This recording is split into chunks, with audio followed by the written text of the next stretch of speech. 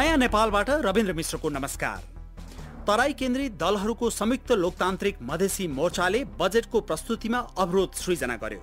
मोर्चाले उनीहरूले उठाएका मधेस केन्द्रित मागहरू पूरा नभएसम्म बजेट प्रस्तुत गर्न नदिने अडान लिएको थियो। विगतमा पनि मोर्चा मधेस केन्द्रित मागहरूका सम्बन्धमा कडा रूपमा प्रस्तुत हुने गर्दथ्यो। क्षेत्रीय जातीय दलहरूले आफैसँग सम्बन्धित मुद्दाहरूलाई मात्र प्राथमिकता दिने कि राष्ट्रिय हितलाई पनि विचार गर्ने। धेरैको गुनासो उनीहरूले राष्ट्रिय हितलाई त्यति ध्यान दिएका छैनन् भन्ने छ। जुन आरोप तराई केन्द्रित नेताहरू अस्वीकार गर्दछन्। यस सन्दर्भमा बहस गर्न मैले बिबिसीको काठमाडौँ स्टुडियोमा तराई मधेस लोकतान्त्रिक पार्टीका सहमहामन्त्री जितेन्द्र सोनल तथा फेसबुक सञ्जाल परिवर्तनका लागि हामी नेपाली एकका अभियानकर्ता प्रशान्त सिंहलाई निम्ति आएको छु। सबभन्दा पहिले जितेन्द्रजी तपाईँ पहिलेबाट मधेसी कि पहिलेबाट नेपाली? बडो क्रिटिकल प्रश्न राख्नुभयो रविनजी। मलाई लाग्छ कि म मधेसी पहिचानको नेपाली नागरिक हो।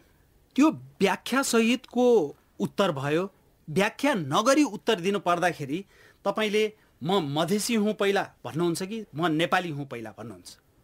मधेसी पहिचानको नेपाली भन्दा उपयुक्त शब्द हुन्छ। हामी बहुराष्ट्रिय राज्य हो। र मधेस एउटा राष्ट्र भएको नाताले त्यो राष्ट्रियता र नेपालको राष्ट्रियता दुइटैलाई हामी छोड्ने स्थिति चाहिँ छैन। तर सबभन्दा पहिला त तपाईँ नेपालको हितको कुरा गर्नुहुन्छ कि मधेसको हितको कुरा गर्नुहुन्छ?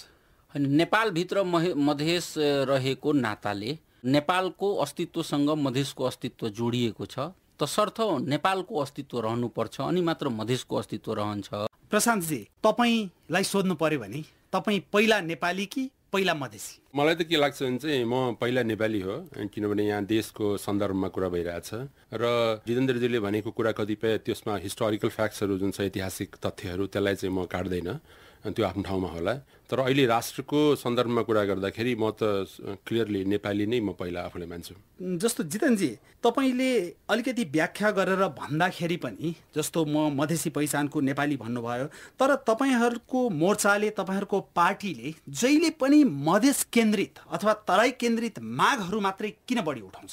कुल ग्राहस्थ उत्पादनको विषयमा सत्तर पर्सेन्टभन्दा बढी कन्ट्रिब्युट गर्ने मधेस क्षेत्र हो। तर साढे दुई सय वर्षभन्दा पहिलेदेखि पनि यदि हामी हेर्छौँ भने त्यो समुदाय र त्यो क्षेत्र उपेक्षामा परेको क्षेत्र हो। मुलुकको कुल आबादीको कुल जनसङ्ख्याको आधा जनसङ्ख्या जति जनसङ्ख्या भएको मुलुक मधेसी समुदाय सम्पूर्ण क्षेत्रको जम्मा सत्र पर्सेन्ट भूभाग भएको मधेसी समुदाय पचास पर्सेन्टभन्दा बढी जनतालाई धानिरहेको अवस्थामा। र त्यसमाथि जुन राज्यको लगानी हो त्यो लगानी भनेको कहिले पनि सत्र पर्सेन्ट सोह्र पर्सेन्ट नागेन। तसर्थ हाम्रो के मान्यता हो भने यत्रो ठुलो कन्ट्रिब्युट गरिरहेको मुलुक समुदाय र क्षेत्रमाथि अन्याय पारिनु हुँदैन। प्रशान्तजी जितेन्द्रजीले जे भन्नुभयो अथवा कैयौँ मधेसी तराई केन्द्रित नेताहरूले जे भन्छन् त्यसमा कति दम छ? तराईलाई मधेसलाई एकदम अन्याय नै परेको हो? अन्याय पक्कै पनि शताब्दीौँसम्म परेको हो। त्यसलाई हामीले चाहिँ गलत भन्न सक्दैनौँ।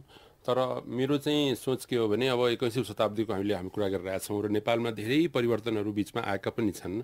आजभन्दा पन्ध्र वर्ष पहिला दस वर्ष पहिला नेपालमा राष्ट्रपति मधेसी हुन्छ होइन? उपराष्ट्रपति मधेसी हुन्छ भनेको भए सायद कसैले विश्वास गर्दैन थियो होला म पनि गर्दैन थियो होला सायद होइन? तर आज भएको छ कि होइन? कतिपय राम्रो कामहरू पनि बिचमा भएको छ र अहिले सभासदहरूमा पनि हेर्ने हो भने चाहिँ मधेसको राम्रो प्रतिनिधित्व- देखिरहेछ होइन?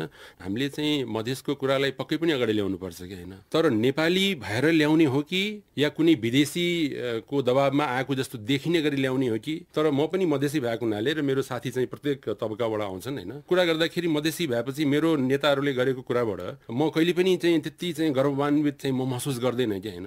कहाँ कहाँ चाहिँ भारतको हामी चाहिँ द्वितीय श्रेणीको भारतीय नागरिक हो कि होइन? भारतको कुराबाट चाहिँ हामी बढी प्रभावित भएर आफ्नो राजनीतिक नीतिहरू बनाइरहेछौँ कि त्यस्तो कहिलेकाहीँ चाहिँ फिल भएर जान्छ कि होइन। र तराईको मान्छेहरू गौतम बुद्ध भएको ठाउँ हो सीता भएको ठाउँ हो विद्यापति हाम्रो के अरे आदिकवि भानुभक्तभन्दा चार सय वर्ष पहिला होइन यस्तो कविहरू भएको ठाउँमा हामी कमजोर भएर चाहिँ त्यो भिक्षा मागे जस्तो माग्नुपर्ने मैले आवश्यकता देख्दिनँ कि होइन। एकदमै चाहिँ आफूमा चाहिँ बल चाहिँ विचार गर्नु पर्यो होइन हामी हामीमा छ आत्मबल। चाहिँ हुनु पर्यो र त्यो त्यो आत्मबलको आधारमा चाहिँ कुरा नगरेर अहिले पनि त्यही पुरानै कथा कहानीहरू सुनाएर दुःखको कथा कहानीहरू सुनाएर होइन? अब चाहिँ समयका साथ हामीले पनि चेन्ज हुनु पऱ्यो नि त। आफ्नो उदारता हामीले पनि देखाउनु पऱ्यो होइन? धेरै तराई केन्द्रित नेताहरूले जुन किसिमको धारणा राख्छन् त्योभन्दा भिन्न किसिमको धारणा तपाईँ एकजना शिक्षित आफ्नो पेसामा दक्ष व्यक्ति भएर र एकजना अभियानकर्ता भएर तपाईँले अलिक भिन्न धारणा राख्दै हुनुहुन्छ। जस्तो जितेन्द्रजी जस्तो तराईलाई महत्त्व दिने तराई केन्द्रित मागहरू नै बढी उठाउने त्यसैको लागि लड्ने धेरै नेताहरूलाई तपाईँले कुनै प्रश्न सोध्नु पर्यो अथवा केही टिप्पणी गर्नु पर्यो भने के भन्नुहुन्छ? जितेन्द्रजी यहीँ अगाडि हुनुहुन्छ। म के भन्छु भने त्यही तरिकाले हामी चाहिँ एकदमै सम्भावनाहरू बोकेको एउटा एरिया हो कि होइन? त्यो एरियामा मैले चाहिँ आफ्नो नेताहरूमा चाहिँ त्यस्तो भिजन होइन? अगाडि बढाउने र मधेसलाई नेपालमा मात्रै होइन संसारमै पहिचान गराउने त्यस्तो चाहिँ मैले प्रयास भएको चाहिँ कहीँ पनि देख्दैन कि होइन? कहाँ न कहाँ चाहिँ अलिकति आफैमा चाहिँ त्यो अङ्ग्रेजीमा म भन्न सक्छु इन्फेरिटी कम्प्लेक्स होइन? हीन भाव भएको जस्तो लडाइँको जस्तो कहिले काहीँ महसुस हुन्छ कि होइन? त्यो चाहिँ हुनु आवश्यक म देख्दिनँ कि होइन? जितनजी एकजना शिक्षित वीरगन्जमा जन्मिएको पक्का तपाईँको शब्दमा भन्ने हो भने मधेसीबाट आएको धारणा सुन्नुभयो। के भन्नुहुन्छ? मलाई के लाग्छ भने मधेसीहरू अवसरबाट वञ्चित छन्। जबसम्म अवसर पाइँदैन तबसम्म उहाँले भने जस्तो सबै कुराहरू अगाडि बढ्दैन। हाम्रो अवस्था त के हो भने इन्टरनल कोलोनाइजेसनको अवस्था हो। आफ्नै मुलुकमा आन्तरिक औपनिवेशीकरणको जीवनबाट हामी गुज्रिरहेका छौँ विगत अढाई सय वर्षदेखि। होइन तपाईँहरूले किन यो गुनासो गरेर जस्तो तराईको राष्ट्रपति उपराष्ट्रपति तराईको तपाईँ मधेसको जनसङ्ख्याको कुरा गर्दा पचास प्रतिशत भन्नुहुन्छ पचास प्रतिशतभित्र पहिला गिरिजा प्रसाद कोइराला पनि तराईको माधव कुमार नेपाल पनि तराईको। उनीहरूलाई चाहिँ तपाईँ फेरि त्यही तराईबाट आउने पचास प्रतिशत जनसङ्ख्यामा गन्ने तर मधेसी होइन भन्ने कुरा मिल्यो? एकदम तपाईँ ठिक कुरा उठाउनु भयो र प्रशान्तजीले लाई पनि र तपाईँलाई पनि म के भन्न चाहन्छु भने गिरिजा प्रसाद कोइराला र माधव नेपालजी जस्ता व्यक्तिहरू तराईमा बस्ने मान्छे हुन्। उहाँहरू मधेसी होइनन्। मैले कुरा उठाएको यादवको हो मैले कुरा उठाएको शाहको हो मैले कुरा उठाएको हजराको हो मैले कुरा उठाउँदा यस्ता सिंहजीहरूको कुरा हो। मैले कुनै कोइराला नेपालको कुरा मधेसमा। तपाईँले भने मान्छेको टाउको गन्दा पचास प्रतिशत पुग्छ जो मधेसी हुन् जसका थरहरू मैले गनाएँ जसको एउटा सभ्यता छ एउटा संस्कृति छ जसको एउटा वे अफ लाइफ छ उनको एउटा आर्थिक जीवन प्रणाली छ यिनका सङ्ख्या उन्चास पर्सेन्ट र पचास पर्सेन्टको हाराहारीमा हो। त्यसमा तराईमा बसोबास गर्ने नेपालजीहरू कोइरालाजीहरू पोखरेलजीहरू उपाध्यायजीहरू पर्नुहुन्न। मधेसमा डिग्री होल्डर मान्छेको कमी छैनन्। तर आज हामी हेर्ने हो भने पचहत्तरवटा जिल्ला प्रशासकहरूमध्ये सिडिओहरूमध्ये दुईजना मधेसी मूलका अहिले छन्। प्रशान्तजी जितेन्द्रजीले भनेको कुरा पनि त सही हो नि होइन? जस्तो हरेक नागरिकले पहिला घर हेर्छ अनि गाउँ हेर्छ अनि टोल हेर्छ अनि क्षेत्र हेर्छ अनि देश हेर्छ अनि विश्व हेर्छ। त्यसो हुनाले कतिपय मैले यस्ता तराई केन्द्रित नेताहरू भेटेको छु जसले पहिला आफूलाई मधेसी नै हुँ भनेर भन्छन्। पहिला मधेसी भन्नमा कुनै आपत्ति छ? आपत्ति छैन अब मधेसी मात्रै होइन। अब म आफ्नो घरमा जाँदाखेरि पहिला छोरा होला कसैको कसैको श्रीमान होला कसैको बाउ होला होइन? त्यो हिसाबले कुन सन्दर्भमा कुरा भइरहेको छ त्यो अनुसारले हामी आफ्नो परिचय दिन्छौँ कि होइन? तर अहिले देशको सन्दर्भमा कुरा गर्दाखेरि मेरो चाहिँ एउटा सिम्पल आन्सर हो। म चाहिँ नेपाली हो। तर अब चाहिँ गाउँमा गएपछि मेरो जाति होला मेरो हिन्दू समाजमा त के के छ के के छ विभिन्न कुरा तरिकाले हामीले चाहिँ आफूलाई बाँडेका छौँ। त्यो अनुसारले आफ्नो परिचय दिँदाखेरि मान्छेले विभिन्न कुराहरू गर्छन् होइन? तर देशको हिसाबले मलाई के लाग्छ भने अहिले देश चाहिँ एक त क्रस रोड्समा छ एउटा यस्तो ठाउँमा आइपुगेको छ जहाँ कि चाहिँ हामी कुन बाटो लिन्छौँ त्यसले चाहिँ हाम्रो भविष्यलाई चाहिँ सुनिश्चित गर्ने हो कि होइन?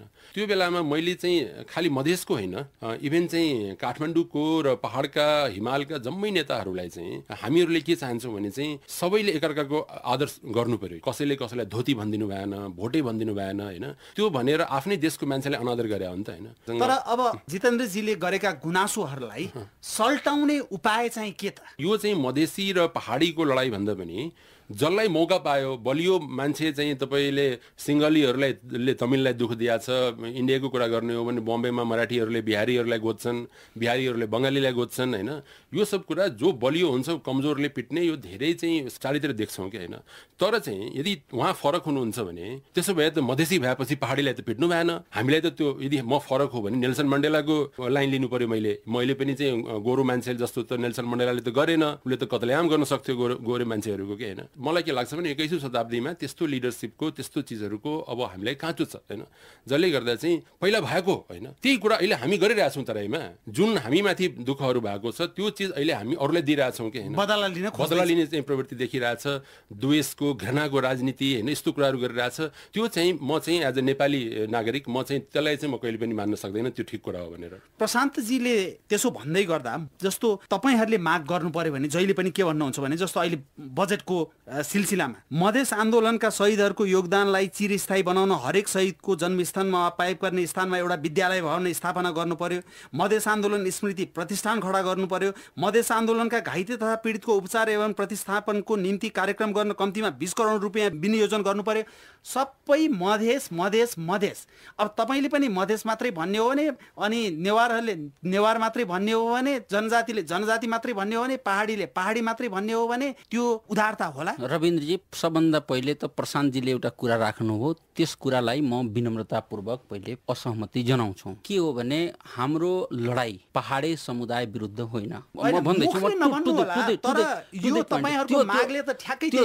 त्यो माग पहाडे समुदायको विरुद्धमा छैन हाम्रो सङ्घर्ष राज्य सत्ताको विरुद्ध हो जब यो देशमा आदरणीय बिपी कोइरालाको नाममा फाउन्डेसनहरू स्मृति प्रतिष्ठानहरू बनाइन्छ पुष्पलालको नाममा स्मृति प्रतिष्ठानहरू बनाइन्छ हामी त्यसलाई स्वीकार गर्छौँ। भने मधेसको आन्दोलनमा शहादत प्राप्त कुनै व्यक्ति उसको नाममा हामी एउटा स्मृति प्रतिष्ठान खडा गर्नु पर्दछ भन्ने माग राख्दाको अवस्थामा मधेस केन्द्रित मात्र माग राखिदियो यो भन्नु कति जायज हो तपाईँ छुट्याउनुहोस्। यो सरकारले विगत तीन वर्षदेखि लगातार बजेट प्रस्तुत गर्दाको अवस्थामा जनआन्दोलन र जनयुद्धका घाइतेहरूलाई हामी उपचारका लागि हामी व्यवस्थापनको लागि बजेट छुट्याइरहेको छ। एउटा पनि मधेस आन्दोलनका घाइतेले त्यसको चाहिँ फेसिलिटीहरू त्यसको रकमहरू पाइरहेको छैन। तर मधेसको बारेमा कोही बोलिदिने अवस्था छैन। तपाईँ राष्ट्रिय एजेन्डाका कुरा उठाउनु भयो भने कहिले पनि तपाईँहरू कुरा राख्नुहुन्न र मधेसका यी कुराहरू हामी उठाउँछौँ भने खालि तपाईँ मधेसका कुराहरू उठाउनुहुन्छ भने क्लेम गर्नुहुन्छ रविनजी यो कति उचित हो?